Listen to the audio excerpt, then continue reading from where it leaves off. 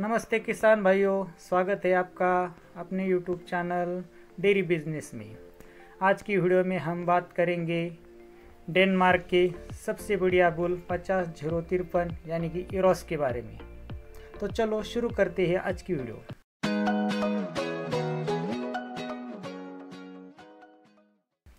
तो बहुत सारे पशुपालक या किसान भाइयों का ये हमेशा सवाल रहता है कि डेनमार्क का सबसे टॉप बुल कौन सा है? जिसको हम अपने फार पे यूज़ कर सकते हैं और जिसके यूज़ करने से हम ज़्यादा से ज़्यादा मिल्क और फैट इम्प्रूवमेंट पा सकते हैं। तो हमने आज सबसे बढ़िया बुल पचास ज़ीरो तिरपन के बारे में जानकारी के लिए ये वीडियो बनाया है। तो आप स्क्रीन पर देख रहे होंगे कि सायर डायरेक्टरी से हमने डेनमार्क का इरोस, यानी कि एच एफ़ पचास ज़ीरो तिरपन ये बुल शो किया है। इसके बारे में हम आज डिटेल से बात करेंगे।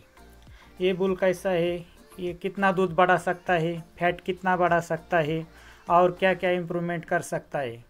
और साथ में हम वीडियो के अंत में आपको इसके आई हुई प्रोजनिया भी दिखाएँगे। तो वीडियो में अंत तक बने रहेगा तो ये बुल की फ़ोटो आप देख रहे हैं स्क्रीन पर और इसका जो ऊपर आपको दिख रहा होगा डायमंड यानी कि इसकी जो कैटेगरी है, वो डायमंड में आती है, यानी कि बहुत अच्छा बुल हम इसको मान सकते हैं। तो इसके उसके नंबर या आईडी के नीचे आपको उसकी डेट और डेट ऑफ़ बर्थ मिलेगी। और जो सिंबल है, उसमें आपको दिख रहा होगा कि G N T M plus thirty seven और जो लोगो है, उसके नीचे नॉर्डियक टोटल मेरिट, यानी कि इसका मतलब होता है कि जिनोमिक नॉर्डियक टोटल मेरिट। तो ये क्या होता है? तो ये होता है यूरोपियन की तीन कंट्री डेनमार्क, स्वीडन और फिनलैंड, इन तीन देशों में, जो इकोनॉमिकली बुल के इम्पोर्टेंट ट्रेड्स होते हैं। उन सबको मिलाकर ये बनाया जाता है। और ये कैसा काम करता है? तो जितना एन यानी कि नॉर्डिक टोटल मेरिट जितना हाई होगा, उतना ही वो बुल आपको इकोनॉमिकली अच्छा प्रॉफिट देगा। तो इसमें कुल मिलाकर डेनमार्क यानी कि एन टी एम कंट्रीज़ ने फिफ्टीन ट्रेड्स मिलाकर ये एन टी एम बनाया है। तो इसका एन टी एम डेनमार्क के सभी बुलों में हाई, जो प्लस सैंतीस है। तो ये काफ़ी अच्छा बुल माना जा सकता है, जिससे yield growth fertility calving udder health genetic health fertility calving जो यूडीसी यानी कि udder composite milkability temperament longevity survival जो हम बोलते हैं उसको फ़ीड इफिशियंसी ये सब जो इकोनॉमिकली जो अच्छे ट्रेड्स है, इन सबको मिलाकर इसका जो एनटीएम है, वो काफ़ी हाई जो प्लस सैंतीस है। तो उसके नीचे आपको जो हाईलाइट में या कुछ सिंबल में बुल के हाईलाइट पैरामीटर है जो काफ़ी अच्छे बुल के अंदर मौजूद है, जिसका यूज़ करने से आपको इम्प्रूवमेंट ज़्यादा से ज़्यादा मिल सकती है। तो बुल के नीचे आप देख सकते हैं मिल्क मैक्स यानी कि ये बुल काफ़ी अच्छी मिल्क के लिए फ़ेमस है। इससे आने वाली जो प्रोटीनिया है, वो काफ़ी अच्छा मिल देगी। उसके साथ में आपको फैट एंड प्रोटीन प्लस मिलेगा। तो इस बुल का सीमेंट यूज़ करने से आप आने वाली बच्चों में ज़्यादा से ज़्यादा फैट और प्रोटीन की मात्रा पा सकते हैं। और साथ में ऑलराउंडर्स, यानी कि जो काफ़ी कमज़ोर गाय है, जो ब्रीडिंग के लिए अच्छी नहीं है, जिसमें दूध की कमी है, फैट प्रोटीन की कमी है, जिसकी फ्रेम, यानी कि बॉडी की, जो कंडीशन है, वो अच्छी नहीं है, जो मस्टेटिस के शिकार होते हैं, यानी कि आर्डर काफ़ी कमज़ोर है, लेग्स काफ़ी कमज़ोर है, ये सब इस बुल में सुधारने की कैपेसिटी है। तो आप एक सामान्य गाय को भी इसका सीमेंट लगाते हो तो अच्छी इम्प्रूवमेंट पा सकते हैं। इसका मतलब हो, ये ऑलराउंडर बुल है। तो साथ में ही आपको रेड अक्षर में इसकी पेडिग्री डिटेल्स मिलेगी। पेडिग्री डिटेल्स पढ़ना ज़रूरी क्यों है? क्योंकि हम जैसे भी इरोस का सीमेंट लगाएँगे, उसकी जो बच्ची आएगी उसको आगे कौन सा सीमेंट लगाना है? इसके बारे में ये पीडिग्री डिटेल्स काफ़ी महत्वपूर्ण जानकारी हमें देती है, जिससे हम इन ब्रीडिंग से बच सकते हैं। इन ब्रीडिंग जो हमेशा खतरा दे सकती है कभी कभार तो उससे हम बच सकते हैं। तो इसकी पेडिग्री है सुपर शॉट ओमैन और डिड्रिक सर आप नीचे देख सकते हैं सायर नेम जो इरोस के पिताजी का नाम है कोजेंट सुपर शॉट साथ में उसका आपको हाईलाइट में नेट नॉर्डियक टोटल मेरिट दिया हुआ है, जो प्लस थर्टी में, जो काफ़ी अच्छा है।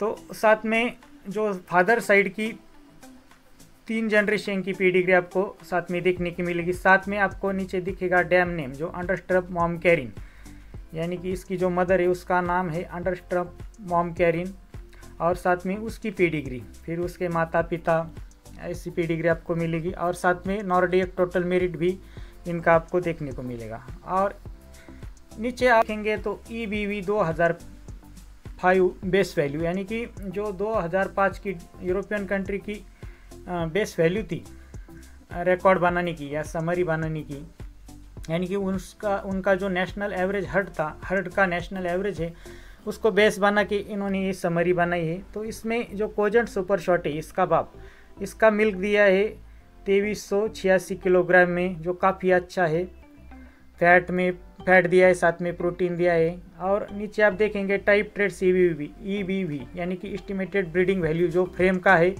इसकी जो सुपर शॉट की जो फ्रेम है उसका लेग्स है और आर्डर है उसके बारे में जानकारी दी है। हंड्रेड को इन्होंने एक ज़ीरो बेस बनाया है। उसके आगे आप जैसे जैसे जो अंक बढ़ते जाएगी जैसे 101, 102, 104 आप देख रहे हैं इसका आर्डर 104 है। तो ये काफ़ी अच्छा इम्प्रूवमेंट करेगा और जैसे जैसे नीचे जाएगा तो ये कम इम्प्रूवमेंट वाला होगा। उसके नीचे आप देखेंगे जो अडर लेक्स और फ्रेम का इन्होंने एक अलग स्तंभ बनाया है और ग्राफिक्स के द्वारा आपको समझाने की कोशिश की है। तो आप नीचे देखेंगे तो डैम्स बेस्ट लैक्टेशन डिटेल्स यानी कि जो इरोस की मदर है, उसका लैक्टेशन का समरी इधर देखने को मिलता है।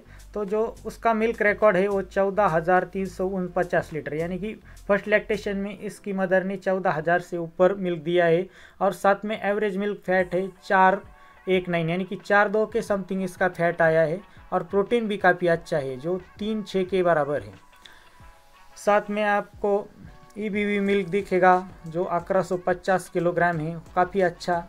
और नीचे फ्रेम लेग्स और ऑर्डर ये सब मदर के काफ़ी अच्छे हैं। तो ग्राफ के द्वारा ये आपको समझाया गया है आर्डर उसके नीचे लेग्स और फ्रेम तो फ्रेम में इसकी मदर का सबसे ज़्यादा इम्प्रूवमेंट है। और आप नीचे जाएँगे तो आपको जीनोमिक एस्टिमेटेड ब्रीडिंग वैल्यू यानी कि जी ई बी वी जो खुद बुल की है, यानी कि पचास हज़ार तिरपन बुल की जो जी ई बी वी है, उसके बारे में यहाँ डिटेल हमें देखने को मिल रही है। यानी कि जीनोमिक टेस्ट किया और उसका जीनोटाइप करके ये समरी बुल का बनाया गया है।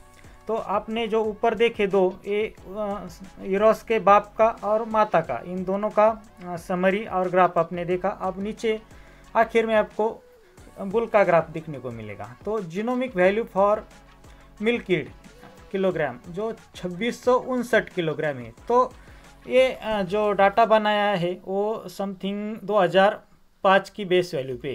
तो हमें ये समझना है कि 2005 की बेस वैल्यू जो नॉर्डियक कंट्री नॉर्डियक कंट्री की थी तो उसमें डेनमार्क, स्वीडन और फिनलैंड ये देश आते तो उन सब की मिलाकर, पहले इलेक्ट्रेशन से लेकर थर्ड इलेक्ट्रेशन की तो वो नेशनल एवरेज हर्ड है लगभग नौ हज़ार बीस किलोग्राम के आसपास 2005 की।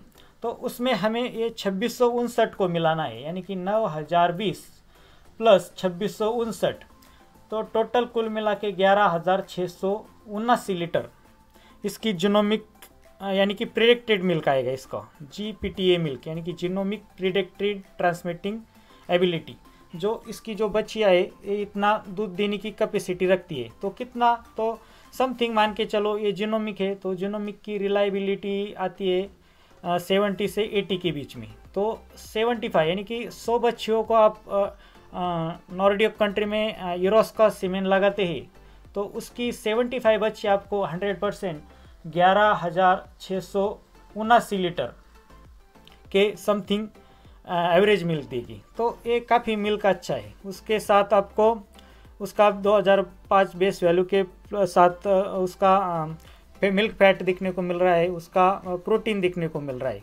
तो फैट और प्रोटीन काफ़ी अच्छा है। तो इसका जो साइज़ है एवरेज साइज़ वो भी मॉडरेट है। यानी कि बड़ी गायों को आप लगाते हैं तो उससे आप छोटी गाय पाना चाहते हैं तो ईरोस का सीमेंट आप यूज़ कर सकते हैं।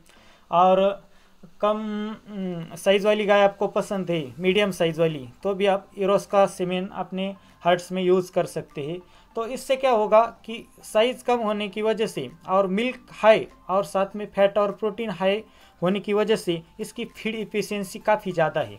तो एक कम चारा खा के भी आपको अच्छा मुनाफा देने के लिए काफ़ी अच्छा बोले। ये इसकी खासियत है। तो आज की वीडियो में हमने इसके बारे में डिटेल्स में जानकारी हासिल की है। तो ये वीडियो आपको कैसी लगी हमें कमेंट में ज़रूर बताएँ। साथ में आप आगे कौन से बुल का इंफॉर्मेशन चाहते हैं वो भी हमें बताएँ। वीडियो को लाइक करें चैनल को सब्सक्राइब करें।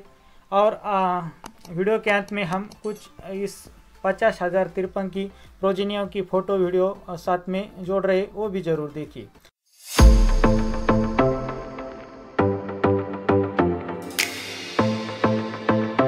तो रुकते यहीं पे धन्यवाद